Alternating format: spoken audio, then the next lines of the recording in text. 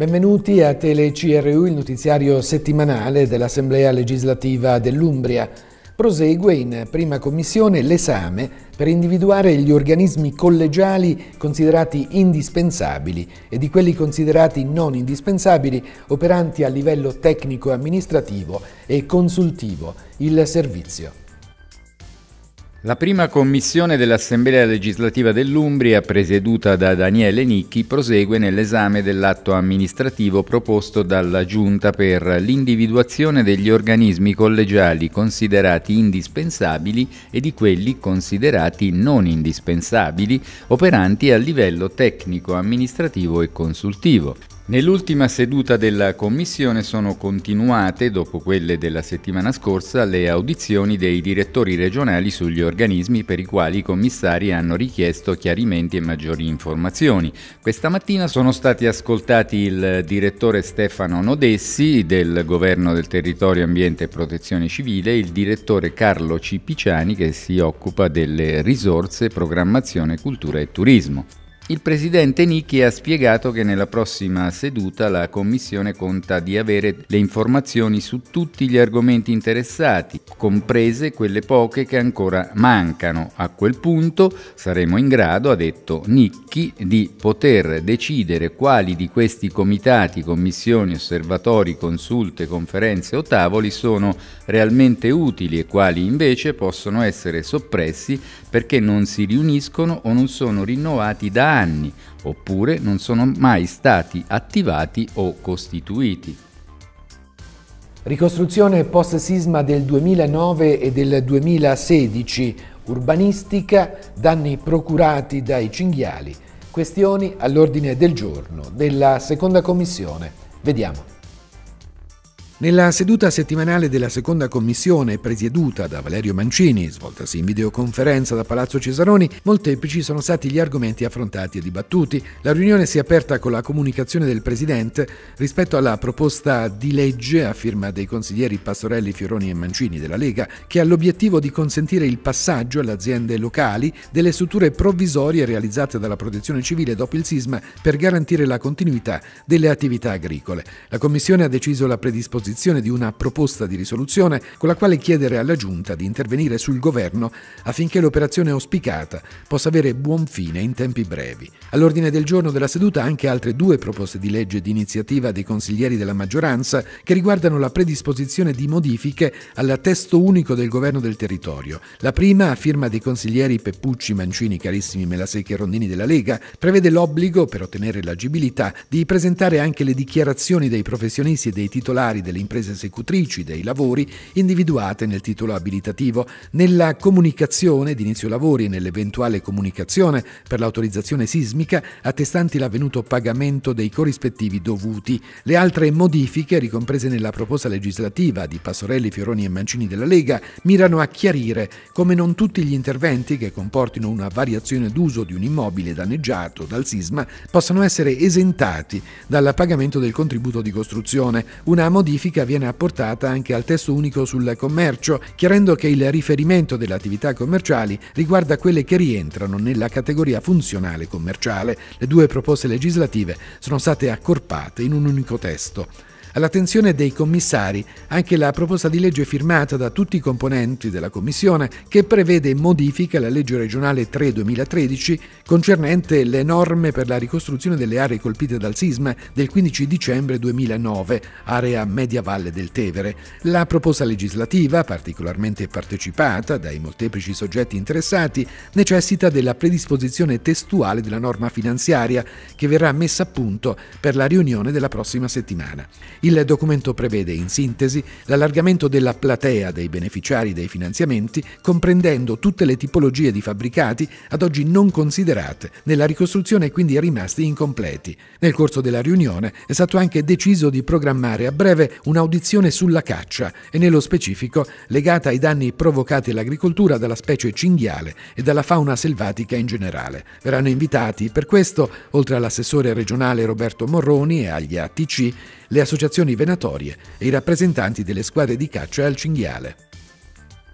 La terza commissione ha istituito una sottocommissione per velocizzare l'istruttoria congiunta ed approfondire tre proposte di legge in materia di edilizia residenziale sociale, presentate rispettivamente da Marco Squarta ed Eleonora Pace di Fratelli d'Italia, Paola Fioroni e Stefano Pastorelli della Lega, Fabio Paparelli e Simona Meloni del Partito Democratico. Il servizio.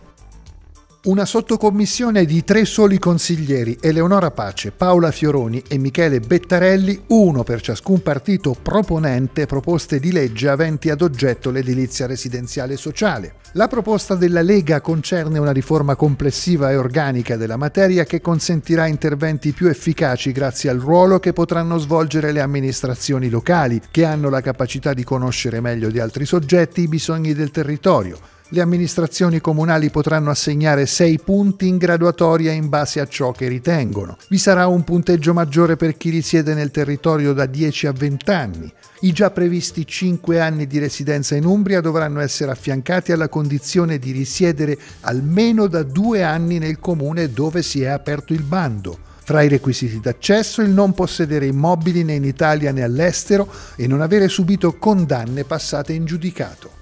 La proposta di Fratelli d'Italia introduce ulteriori criteri di modifica per l'accesso agli alloggi popolari e condiziona al comportamento dell'inquilino il mantenimento di tale diritto con lo strumento di una carta a punti. La proposta di Fratelli d'Italia si basa su sette elementi importanti. Non potranno avere case coloro che sono stati condannati per reati legati a droga, prostituzione, gioco d'azzardo o contro l'ordine pubblico. Si dovrà dimostrare di non possedere altre abitazioni in Italia o all'estero. Viene prevista una carta a punti dell'inquilino sul modello della patente. Nel caso di gravi violazioni si perderà subito il diritto alla casa popolare. In caso di violazioni lievi si perderanno dei punti. Al contrario, se ne guadagneranno grazie a un comportamento corretto. Nella proposta del PD si vuole mettere a disposizione dei bisogni abitativi tutto il patrimonio pubblico, introducendo un modello gestionale basato sulle zone sociali e incrementare il Fondo regionale per le politiche abitative con un apposito capitolo di finanziamento nel bilancio. Fra i soggetti fragili da tutelare vanno tenute in considerazione le donne vittime di violenze, specialmente se con figli minori a carico, situazioni di cui la legge del 2003 non tiene conto e per le quali serve un trattamento diverso. Prevedere una riserva non condizionata alle tempistiche del bando e un sostegno di cui si faccia carico il Fondo regionale per le politiche abitative. I lavori della Commissione per le riforme statutarie e regolamentari prosegue con l'esame delle modifiche da apportare al regolamento interno. Vediamo. La Commissione per le riforme statutarie e regolamentari dell'Assemblea legislativa, presieduta da Daniele Carissimi, prosegue l'esame delle modifiche da apportare al regolamento interno.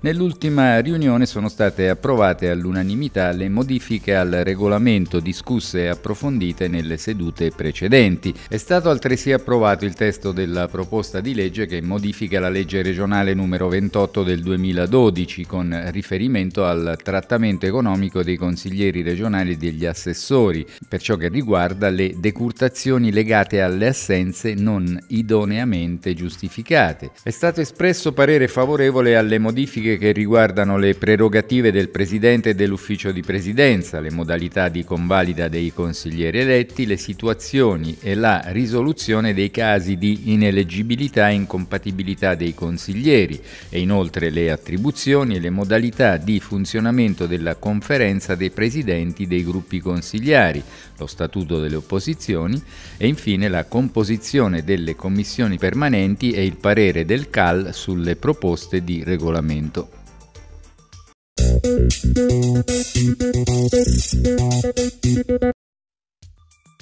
In seconda commissione la scorsa settimana si è parlato della ricostruzione post-sisma del 2016 dello stato dell'arte, degli strumenti messi in campo e delle azioni previste per mettere a regime gli interventi necessari per il recupero edilizio strutturale, pubblico e privato. È stato il commissario straordinario alla ricostruzione dei territori colpiti dal sisma del 2016, Giovanni Legnini, a tracciare una panoramica generale della situazione Tra i passaggi più significativi, quello di aver rivisto le regole burocratiche meno funzionanti, la necessità di conoscere quanto prima l'intera domanda di ricostruzione e quindi del fabbisogno finanziario, la possibilità di prevedere fondi del Recovery Fund per lo sviluppo economico dell'area e per il sostegno alle imprese. Il Comitato per il controllo e la valutazione dell'Assemblea legislativa dell'Umbria ha bocciato a maggioranza con tre no dei commissari della Lega e due sì del presidente Thomas De Luca del Movimento 5 Stelle e Tommaso Bori del PD il documento predisposto dallo stesso presidente De Luca e dal consigliere Bori in relazione all'ospedale da campo, ai test rapidi e al loro utilizzo nella zona rossa di Giove. In apertura dei lavori il Presidente ha detto che la comunicazione dei consiglieri di maggioranza, Rondini, Carissimi e Pastorelli della Lega, che disconosce i contenuti della relazione finale predisposta dallo stesso Presidente, valutando un eccesso di potere, la stessa modalità scelta per affrontare l'argomento in analisi e mette in discussione l'opportunità di votare un documento così impostato. De Luca ha poi illustrato i contenuti della bozza di relazione, sottolineando l'importanza di dare il via libera al report, dando impulso agli approfondimenti che le altre commissioni potranno svolgere. Al termine di un breve dibattito, la Commissione ha però espresso parere negativo sull'atto. La terza Commissione ha approvato all'unanimità la modifica del regolamento che disciplina la caccia al cinghiale, al fine di regolare le presenze dei cacciatori sul territorio.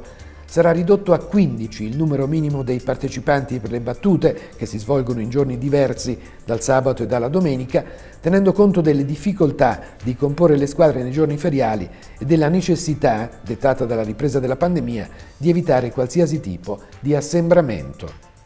Il consigliere Michele Bettarelli del Partito Democratico annuncia di aver presentato un'interrogazione all'assessore all'ambiente Roberto eh, Morroni in merito al caos caccia e al grido di allarme lanciato dai cacciatori sul pagamento dei danni causati dalla fauna selvatica. La consigliera del Partito Democratico, Donatella Porzi, annuncia una interrogazione in merito ai servizi di lavanderia e pulizia nell'ambito sanitario. Chiede alla Giunta di verificare la possibilità di revoca dei contratti alla luce del decreto semplificazioni. La consigliera regionale Simona Meloni del Partito Democratico, vicepresidente dell'Assemblea legislativa, rende noto di aver depositato una proposta di legge per la diffusione delle tecniche salvavita di disostruzione in età pediatrica e di rianimazione cardiopolmonare, nonché delle tecniche di primo soccorso. L'obiettivo è quello di impegnare la Regione, nell'ambito della prevenzione primaria, a promuovere la massima diffusione della conoscenza delle tecniche salvavita. Il consigliere regionale Michele Bettarelli del Partito Democratico annuncia un'interrogazione alla Giunta per sapere come e con quali risorse la Regione intenda recuperare la struttura dell'ex ospedale di Città di Castello e soprattutto se intenda ancora farlo. Ed anche per questa edizione è tutto, vi ricordo che Tele CRU va in onda sulle emittenti televisive dell'Umbria ed è anche disponibile in rete sul sito dell'Assemblea legislativa regionale consiglio.regione.umbria.it e su YouTube.